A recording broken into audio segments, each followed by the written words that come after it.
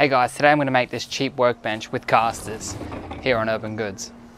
Hey guys, welcome back to another video. Sorry for the delay, but I've been busy making things. For this project, I'm going to use 90 by 45mm framing pine, so my friends in the US, 2x4s will work perfectly. And for the top, I'm using 18mm MDF. For this bench, I'm going to use some additive joinery, meaning basically you glue the pieces around the join to make it nice and strong. This is a guide on how I did mine, so the measurements don't really matter because everything is customizable. Seeing how I did mine, you can easily work out how to make one for yourself. So first I'm going to cut four full length leg pieces and then I'll cut additional pieces to fit around the bottom and the top rail. This is hard to explain but once you see the glue up process it'll all make sense. As you can see I'm cutting four little blocks for the bottom and then after that I'll cut out some longer pieces.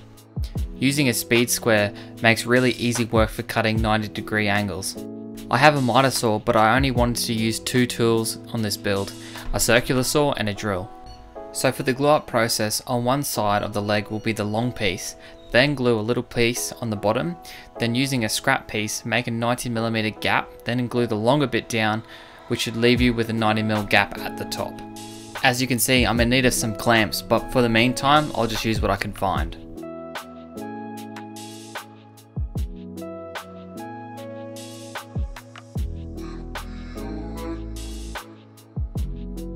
After that I did the same glue up with the next three legs, making sure to wipe up any glue with a rag.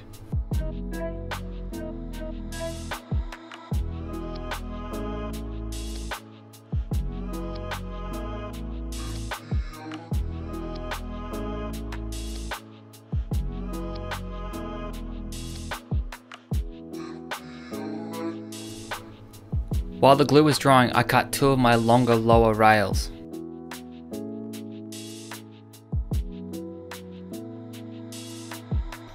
Once the glue was dry, I started cutting out the material for the rail to sit.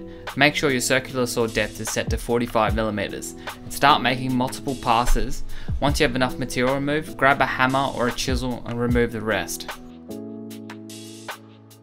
I cheated and I used my circular saw to cut the rest.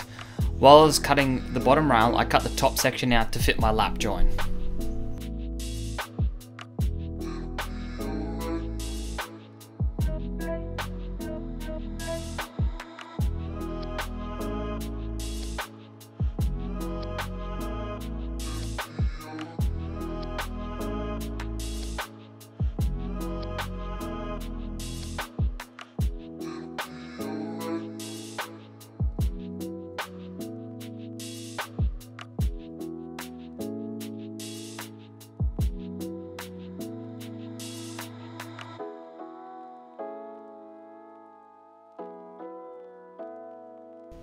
One tip I can give is that when you finish each leg, set it out so you can visually see where all the rails are going to go. Once all the legs were cut out, I inserted my bottom rail, making sure everything fit. Once I was happy, I pre-drilled and countersunk with a decking bit, then I glued and screwed it in. Then I did exactly the same with the other side.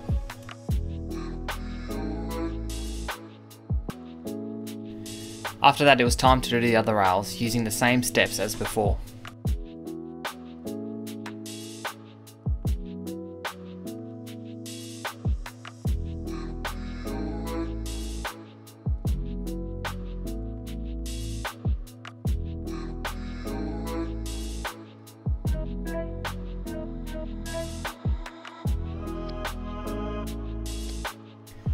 Cut my top rails and screwed them in, and I screwed my side rails in as well.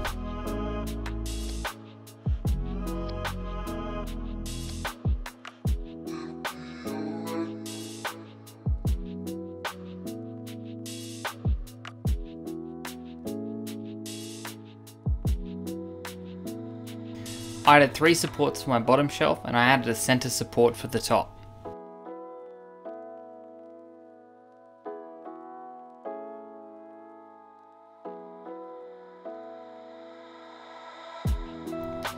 Final base should look like this. Once I was happy, I flipped it and I added some casters to the bottom.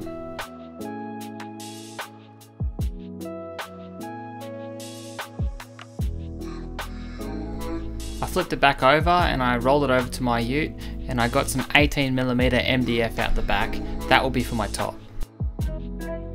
For the top I chose to have some overhang for clamping purposes. This was pretty straightforward, all I did was just cut it to the size using my circular saw. I countersink and pre-drilled the top and I added screws.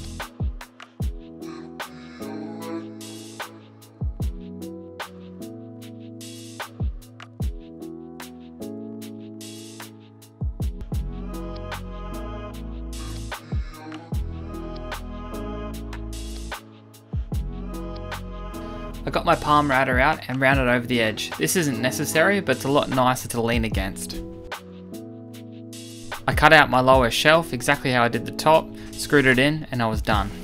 I hope you enjoyed this video, please hit that subscribe button and give it a like. Thanks for watching, see ya!